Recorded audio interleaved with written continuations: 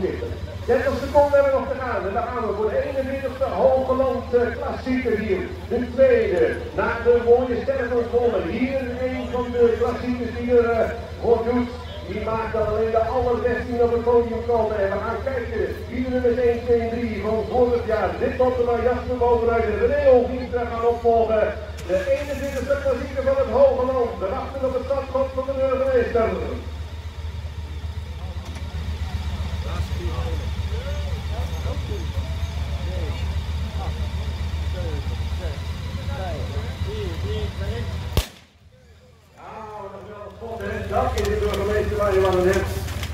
Niet, maar een beetje voorzichtig doen bij het schommels. Het is wel zaak om achter de wagen te blijven, jongens. Want degene die hem inhaalt, die krijgt gelijk uh, de mededeling dat hij uit koers wordt gehaald. Hier hebben we een vlakstort. Heeft u dat al eerder gedaan, burgemeester? Wat? Heeft u dat al eerder gedaan? Nog nooit, jongen. Zo'n uh, startschot gegeven voor Ja, wieler? dat is echt schot, hè? Dat is mooi, hè? Dat was een mooi Dus we gingen schot. meteen weg ook. Wat heeft u met wielrennen? Ik eh, ben een verwoed amateur. Die, uh, die, uh, ja, ja. Mooi. Eh, Koers ook volgen?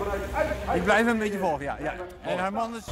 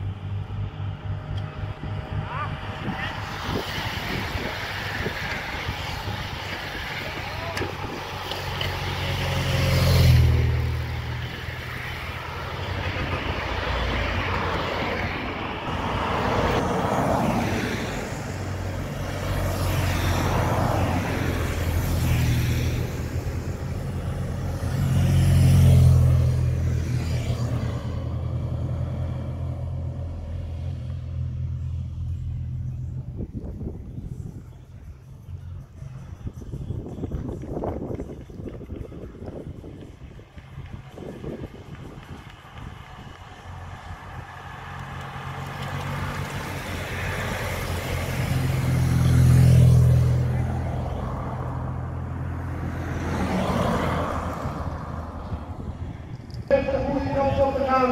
Daar waar hij niet nog weer komt, daar komt hij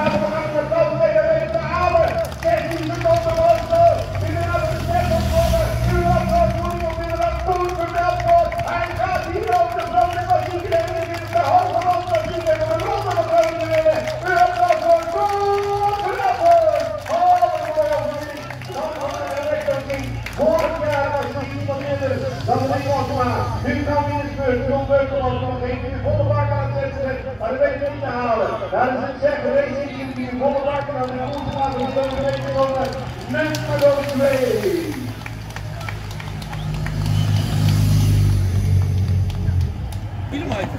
Nou ja, toen moest ik eerst nog naar die kop toe rijden. Dat was al. eh, toen dacht ik eigenlijk toen ik daarbij kwam van, ah, nou, nou heb ik het wel gehad. Alleen ja, toen lieten ze me daar ook weer een klein, beetje- lieten ze daar ook weer een klein gaatje op me. Dus ja, toen dacht ik, ja, dan rijd ik, ik nu ook maar weer door. Alleen toen zag ik wel van, ja, het is nog best ver. Maar je hebt het gered. Ja, dit moet toch voelen als een, schitterende overwinning. Ja, ja, ik win niet zo vaak solo. Dus eh, dat, dat is, eh, dan is dit wel leuk, ja. Eh, maar ik moet zeggen, in de sprint winnen is wel iets minder pijn.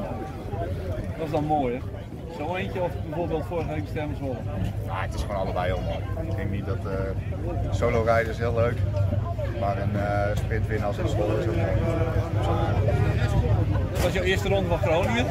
Nou, ik hoef denk ik niet te vragen hoe die jou bevallen is. Nee, ja, goed. Ik, eh, ik, eh, ik denk dat dit een van de mooiste, eigenlijk mooiste, om, om echt een koers te rijden, is dit gewoon een hele mooie omgeving. Dat is, eh, dat is super mooi. ja, solo eh, is niet iets wat ik heel vaak doe. Maar eh, ja, het kwam een beetje zo uit en dan eh, moet, je, moet je er soms maar gewoon voor gaan. Ik zag René, die ging demareren, ik kwam weer terug. En toen op een gegeven moment ging jij, ik denk, nou dat is de moed en wanhoop. En verdorie, ja, 100 meter. Toen dacht je bij jezelf, nou, als ze hem 100 meter geven, kijk eens of ik 150 meter kan krijgen. En je was gevlogen, man. Ja, klopt. Ik, eh, ik reed eigenlijk een beetje eh, ja, half lafjes weg eh, door gewoon door te rijden. Op zijn zoetemelk zeggen ze dat, hè? Ja, klopt op zijn zoetemelks. En nou, ik, ik dacht eigenlijk, ja, mijn benen doen nog veel te veel zeer van het gat dichtrijden naar die kopgroep.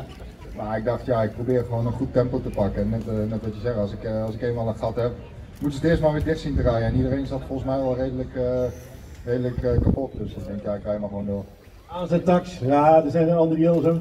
Ik vind dat het een mooi shirt is, jongens. Even een groot applaus voor het prachtige shirt van de wethouder gemeente Het Hoge Land.